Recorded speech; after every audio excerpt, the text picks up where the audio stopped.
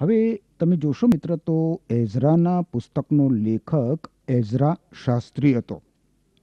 આ એઝરા એક એવી વ્યક્તિ છે જેના તરફ ખાસ લક્ષ આપવામાં આવ્યું નથી. એઝરા એ પ્રમુખ યાજક હિલકિયાનો વંશજ હતો.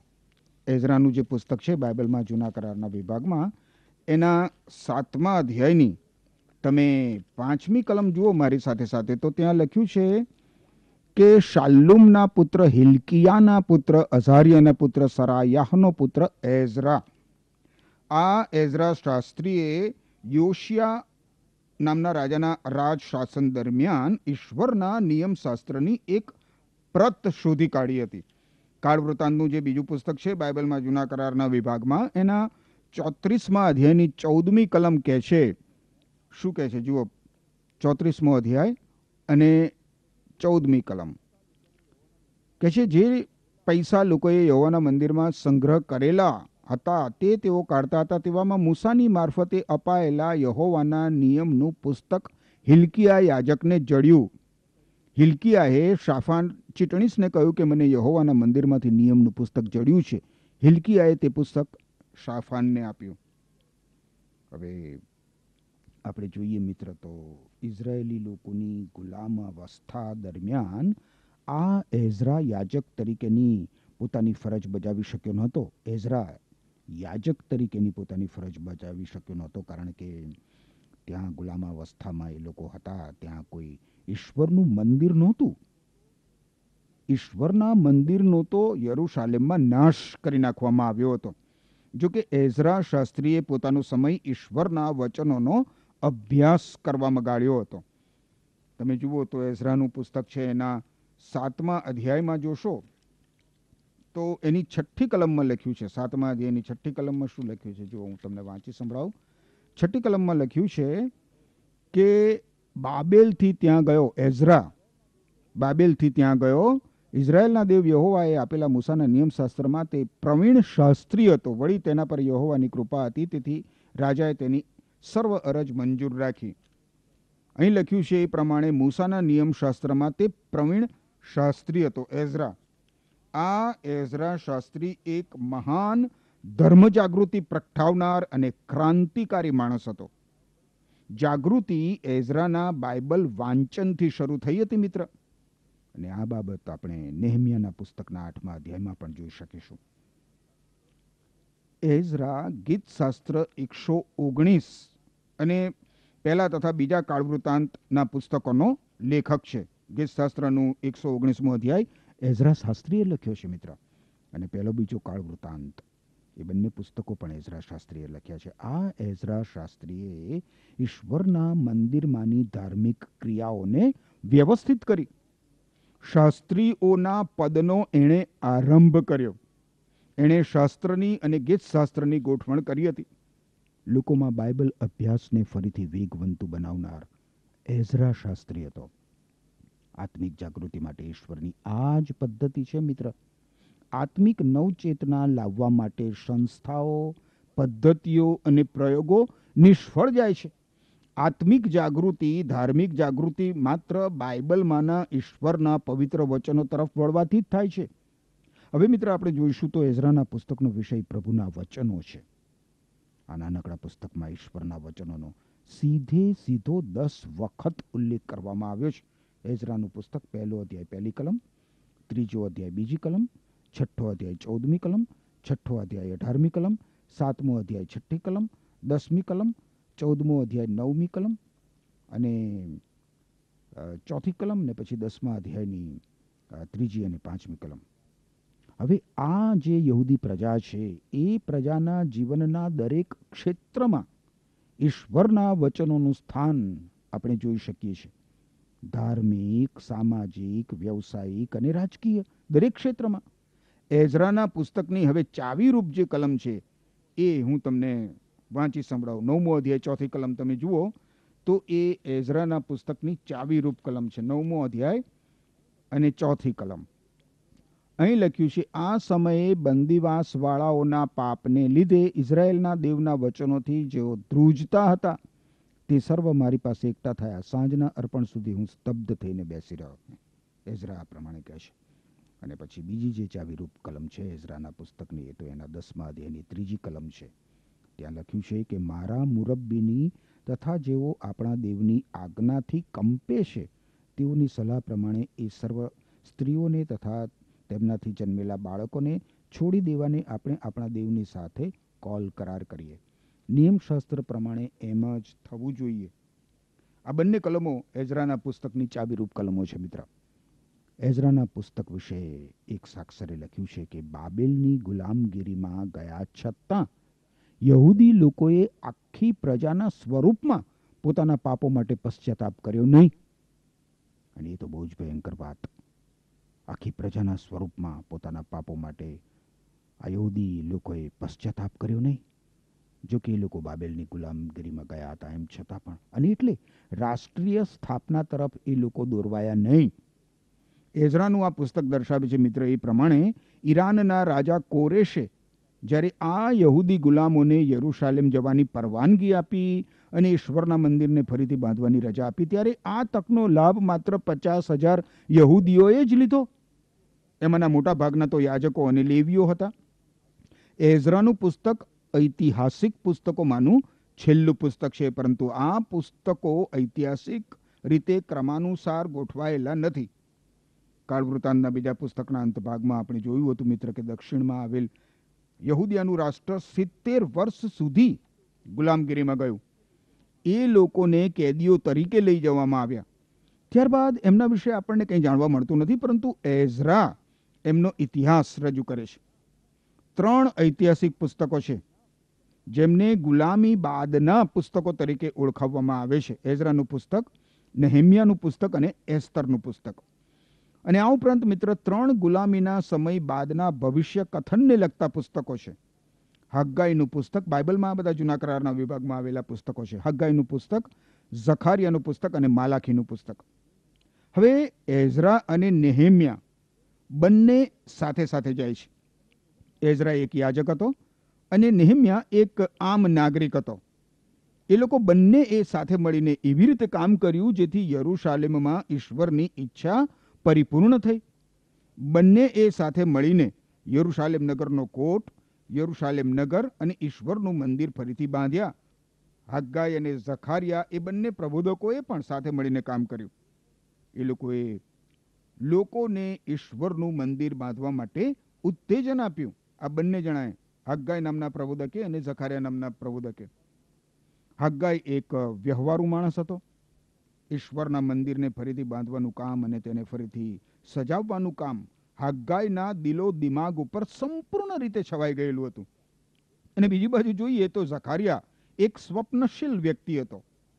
હગ્ગાઈના પગ જમીન ઉપર હતા અને ઝખારિયાનું ભેજું વાદળોમાં હતું. હગ્ગાઈ અને ઝખારિયા એઝરા અને નેહમિયાની જેમ સાથે મળીને કામ કરતા હતા. તમે જુઓ તો એઝરાનું જે પુસ્તક છે એના પાંચમા અધ્યાયની પહેલી કલમમાં લખ્યું છે હવે યહુદાહ તથા યરુશાલેમમાં જે યહૂદીઓ હતા, તેઓને પ્રબોધકો હગ્ગાય તથા ઉદ્દોના પુત્ર ઝખારિયાએ ઇઝરાયેલના દેવને નામે પ્રબોધ કર્યો. જોયું? એટલે એઝરાના પુસ્તકમાં બે મુખ્ય વિભાગો છે. પ્રથમ છ અધ્યાયોમાં દર્શાવ્યા પ્રમાણે ઝરુબાબેલ બાબિલમાંથી ગુલામોને યરુશાલેમ પાછા દોરી લાવે છે. આ પ્રથમ વિભાગ છે. અને એ પછી એઝરાના પુસ્તકના સાતથી દસ અધ્યાયોમાં દર્શાવ્યા પ્રમાણે એઝરા બે હજાર ગુલામોને, યહૂદી ગુલામોને યરુશાલેમ દોરી લાવ્યો. આ બીજો વિભાગ છે. હવે આપણે જોઈશું મિત્ર તો યહૂદી લોકોનો શેષ ભાગ યરુશાલેમ પાછો ફરે છે. ત્યાં તમે જોશો મિત્ર, એઝરાના પુસ્તકના પહેલા અધ્યાયની પહેલી કલમમાં તો લખવામાં આવ્યું છે, ઈરાનના રાજા કોરેશને પહેલે વર્ષે યહોવાહે યર્મેયાના મુખથી અપાયેલું યહોવાનું વચન પૂરું કરવા માટે કોરેશ રાજાના મનમાં એવી પ્રેરણા કરી કે તેણે પોતાના આખા રાજ્યમાં લિખિત ઢંઢેરો પીટાવ્યો. અહીં મિત્ર, એ બાબત ધ્યાનમાં લો કે એઝરા પ્રભુના વચન પર તરત જ ભાર મૂકે છે. અહીં ઈરાનના રાજા કોરેશનો પણ ઉલ્લેખ કરવામાં આવ્યો છે. પુરાતન કાળની દુનિયામાં એ સૌથી વધુ આધ્યાત્મિક પ્રકાશ પ્રગટ કરેલો રાજવી હતો. જો કે બિન યહૂદી હતો, એમ છતાં પણ એના વિશે એના જન્મ અગાઉ આગાહી કરવામાં આવી હતી. ઈરાનના રાજા તરીકે એ તખ્ત નશીન થયો. એ અગાઉ બસો વર્ષ પહેલા એના જન્મ પૂર્વે એનું નામ પાડવામાં આવ્યું હતું. તમારે જો એ જોવું હોય તો યશાયા સંદેશવાકનું જે પુસ્તક છે, બાઇબલમાં જૂના કરારના વિભાગમાં, એના ચુમ્માલીસમાં અધ્યાયની અઠ્યાવીસમી કલમ જુઓ તો ત્યાં લખ્યું છે તે જ કોરેશ વિશે કહે છે કે તે મારો ઘેટા પાળક છે. ઈશ્વર પ્રમાણે કહે છે, મિત્ર. કોરેશ વિશે તે કહે છે કે, તે મારો ઘેટા પાળક છે, તે મારો બધો મનોરથ પૂરો કરશે વળી તે યરુશાલેમ વિશે કહે છે કે, તું ફરી બંધાઈશ અને મંદિરનો પાયો નાખવામાં આવશે. અને પછી પિસ્તાળીસમાં અધ્યાયની પહેલી કલમ તમે જુઓ તો ત્યાં લખ્યું છે યશાય સંદેશવાકનું પુસ્તક, પિસ્તાળીસમો અધ્યાય, પહેલી કલમ. યહોવા કહે છે કે, કોરેશ મારો અભિષિક્ત છે. તેની આગળ દેશોને તાબે કરવા સારું મેં તેનો જમણો હાથ પકડી રાખ્યો છે. તેની આગળ હું રાજાઓની કમરો ઢીલી કરી નાખીશ, જેથી દરવાજા ઉઘાડવામાં આવશે અને ભાગળો બંધ કરવામાં આવશે નહીં. કોરેશ રાજા, પ્રભુ ઈસુ ખ્રિસ્તના એક પ્રતીક સમાન છે મિત્ર. કોરેશના રાજ્યમાં દાનિયેલ પ્રબોધક વડાપ્રધાન હતો અને તેણે કોરેશ રાજાને સાચા ઈશ્વરની ઓળખાણ કરાવી હતી. ઇઝરાયેલી પ્રજા પોતાના દેશમાં પાછી ફરી શકે એ માટેનો હુકમ કરતી વખતે કોરેશ રાજાને ખબર હતી કે પોતે શું કરી રહ્યો છે. અહીં કહેવામાં આવ્યું છે, આપણે વાંચ્યું એ પ્રમાણે કે એના એ પગલાં દ્વારા ઈશ્વરની ઈચ્છા પરિપૂર્ણ થઈ.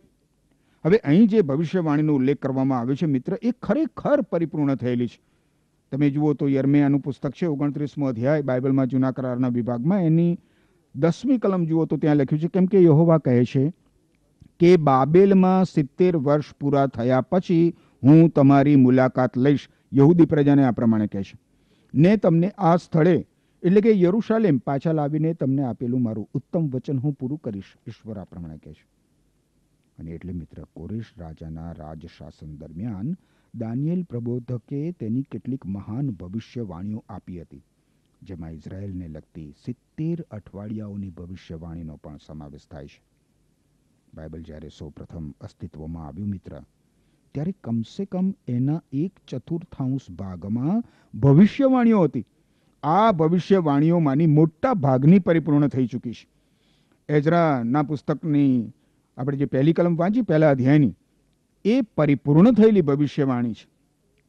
પ્રભુ ઈસુ ખ્રિસ્તના પ્રથમ આગમન સંબંધિત ત્રણસો કરતાં વધારે કરવામાં આવેલી ભવિષ્યવાણીઓ શબ્દશઃ પરિપૂર્ણ થયેલી છે, મિત્ર. પ્રભુ ઈસુ ખ્રિસ્તના જન્મની આગાહી બાઇબલના જૂના કરારના વિભાગમાં કરવામાં આવી હતી અને એના વિશે ચાર બાબતો જણાવવામાં આવી હતી, મિત્ર. પહેલી બાબત. પહેલી બાબત એ છે કે પ્રભુ ઈસુ ખ્રિસ્ત ઇઝરાયેલના બેથલેહેમ શહેરમાં જન્મ પામશે. મિખાનનું પુસ્તક છે બાઇબલમાં જૂના કરારના વિભાગમાં, એના પાંચમા અધ્યાયની બીજી કલમ પ્રમાણે. બીજી બાબત એ છે કે ઈસુ ખ્રિસ્ત નાઝારી કહેવાશે. માથી અનુસાર શુભ સંદેશ બાઇબલમાં નવા કરારના વિભાગમાં, બીજો અધ્યાય ત્રેવીસમી કલમ પ્રમાણે. ત્રીજી બાબત એ છે કે મિસર દેશમાંથી ઈસુ ખ્રિસ્તને બહાર બોલાવી લેવાશે. બાઇબલમાં જૂના કરારના પુસ્તકના હોશિયામાં જે પુસ્તક છે હોશિયાનું પુસ્તક બાઇબલના જૂના કરારના વિભાગમાં, એના અગિયારમાં અધ્યાયની પહેલી કલમ પ્રમાણે.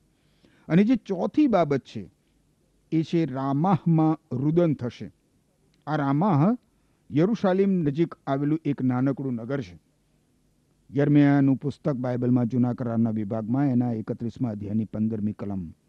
યહૂદી પ્રજાની ગુલામગીરીનો સિત્તેર વર્ષનો સમયગાળો પરિપૂર્ણ થઈ ગયો છે, મિત્ર. એમની મુક્તિનો ઢંઢેરો પીટવામાં આવી ગયો છે અને ઇઝરાયેલી લોકો સ્વદેશ પાછા ફરી શકે છે. જો કે બહુ જ ઓછા લોકો સ્વદેશ પાછા ફર્યા. હવે આપણે બીજી કલમ જોઈએ. એઝરાનું પુસ્તક, પહેલો અધ્યાય, બીજી કલમ. તેમાં તેણે પોતે કહ્યું કે આકાશના દેવ યહોવાહે મને પૃથ્વીના સર્વ રાજ્યો આપ્યા છે ને યહુદામાના યરુશાલેમમાં તેને સારું મંદિર બાંધવાની મને આજ્ઞા આપી છે. ઈરાનનો રાજા કોરેશા પ્રમાણે કરે છે. કોરેશ રાજાનો ઢંઢેરો કેટલો બધો મહત્વનો છે. પ્રથમ તો કોરેશ રાજાએ કહ્યું કે તેને પૃથ્વીના બધા જ રાજ્યો આપવામાં આવ્યા છે. કોરેશ રાજા એના સમયમાં જે રાજ્યો અસ્તિત્વ ધરાવતા હતા એના વિશે વાત કરે છે મિત્ર. આ કોરેશ રાજા જાણતો હતો કે ઈશ્વરે તેને આ પદસ્થાન આપ્યું હતું. ઈશ્વરે તેને આ પદસ્થાન આપ્યું હતું. મને એમ થાય છે મિત્ર કે આ દુનિયાના શાસનકર્તાઓમાંના આજના સુસંસ્કૃત યુગમાં કેટલા એવા હશે? જે એવું માનતા હશે કે તેઓ ઈશ્વરના મંત્રીઓ છે? તેઓ જાણતા હોય કે ના જાણતા હોય, પરંતુ ઈશ્વરે તેમને તેમનું પદસ્થાન આપ્યું હોય છે. હવે કોરેશ રાજા જે વિધાન કરે છે, એ તમે ધ્યાનમાં લો. આકાશના દેવ યહોવાહે. હવે એઝરા શાસ્ત્રી નેહમ્યા અને દાનિયેલ માટે ઈશ્વરનું આ પદસ્થાન બહુ જ વિશિષ્ટ છે. આ પુસ્તકોમાં આપણે આવીએ તે અગાઉ ઈશ્વર વિશે આ સંબોધન આપણને જોવા મળતું નથી. એઝરા શાસ્ત્રીનું જે પુસ્તક છે, એઝરાનું પુસ્તક કે નેમિયાનું પુસ્તક કે દાનિયલનું પુસ્તક. યરુશાલેમના પતન બાદ અને યરુશાલેમના વિનાશ બાદ ઈશ્વરને તેમના મંદિરમાં કોરોબીમો વચ્ચે વસનાર ઈશ્વર તરીકે ઓળખાવાયા નથી મિત્ર. કારણ કે ઈશ્વરનું ગૌરવ દૂર થઈ ગયું હતું. ઇઝરાયેલી પ્રજાના કપાળ ઉપર ઇખાબોદ એવો શબ્દ લખાઈ ગયો હતો. હસ્કિયલ પ્રબોધકને ઈશ્વરના ગૌરવના પ્રસ્થાનનું દર્શન થયું હતું. અને આ કારણસર યહૂદી પ્રજાની ગુલામગીરીના સમય બાદના પુસ્તકોમાં ઈશ્વરને આકાશના દેવ યહોવા તરીકે ઓળખાવવામાં આવ્યા છે. યરુશાલેમમાંના મંદિરમાંથી હસ્કીએલ પ્રબોધકને ઈશ્વરના ગૌરવના પ્રસ્થાનનું દર્શન થયું હતું, મિત્ર.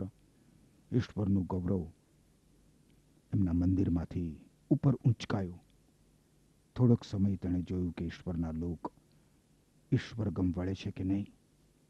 અને મૂર્તિ પૂજાનો ત્યાગ કરે છે કે નહીં? લોકોએ એવું કર્યું નહીં. એ પછી ઈશ્વરનું ગૌરવ યરુશાલેમ નગર ઉપર થઈને પસાર થયું અને એ પછી નગરની દિવાલ ઉપરથી પસાર થતી વખતે રોકાઈને તેણે ઈશ્વરના લોક તરફ જોયું. પરંતુ ના, ઈશ્વરના લોક ઈશ્વર ગમ વળ્યા નહીં. અને એ પછી ઈશ્વરનું ગૌરવ જૈતુન પર્વતની ટોચ ઉપર અટક્યું અને ત્યાં તેણે ઈશ્વરના લોકની રાહ જોઈ. પરંતુ ત્યાં પણ લોકો ઈશ્વર ગમવળ્યા નહીં. અને એટલે ઈશ્વરનું ગૌરવ આકાશમાં ઉપર ચડી ગયું અને ફરી દેખાયું નહીં. પણ એક દિવસ એક દિવસ સ્વયં ઈશ્વર પ્રભુ ઈસુ ખ્રિસ્તના સ્વરૂપમાં ઈશ્વરના મંદિરમાં આવ્યા. એમણે કોરડો બનાવ્યો, મિત્ર, અને એ મંદિરની સાફ સફાઈ કરી. જોકે ઈશ્વરનું ગૌરવ દ્રશ્યમાન નહોતું, કારણ કે સ્વયં ઈશ્વર મનુષ્ય દેહમાં હતા. ઈસુ ખ્રિસ્ત ઈશ્વર હતા અને છે. પૃથ્વી પર ઈસુ ખ્રિસ્ત આવ્યા ત્યારે ઈશ્વર તરીકેનું પોતાનું ગૌરવ તેમણે બાજુ પર મૂકી દીધું હતું. પરંતુ એ સ્વયં ઈશ્વરના ઈશ્વર હતા. મનુષ્યના મનુષ્ય હતા. બાઇબલમાં તમે ફિલિપી લોકોને લખેલો પત્ર છે નવા કરારના વિભાગમાં. એના બીજા અધ્યાયની છઠ્ઠી અને સાતમી કલમ જુઓ તો ત્યાં પ્રભુ ઈસુ ખ્રિસ્ત વિશે કહેવામાં આવ્યું છે કે પ્રભુ ઈસુ ખ્રિસ્ત પોતે ઈશ્વર સ્વરૂપ હોવા છતાં ઈશ્વર સાથેની તેમની સમાનતાને તેઓ વળગી રહ્યા નહીં. એને બદલે તેમણે સ્વેચ્છાપૂર્વક પોતાને ખાલી કર્યા અને દાસનું રૂપ ધારણ કર્યું. તે માણસ તરીકે જન્મ્યા અને માનવી સ્વરૂપે પ્રગટ થયા. પ્રભુ ઈસુ ખ્રિસ્તનું ગૌરવ. પ્રભુ ઈસુ ખ્રિસ્તે ઢાંકી દીધું હતું મિત્ર. અને તેથી લોકોએ તેમનો બહિષ્કાર કર્યો અને તેમને ક્રૂસ ઉપર ચડી દીધા. જો કે લોકોએ પ્રભુ ઈસુ ખ્રિસ્તને ક્રૂસ ઉપર ચડી દીધા. એમ છતાં ઈસુ ખ્રિસ્ત રાજા છે.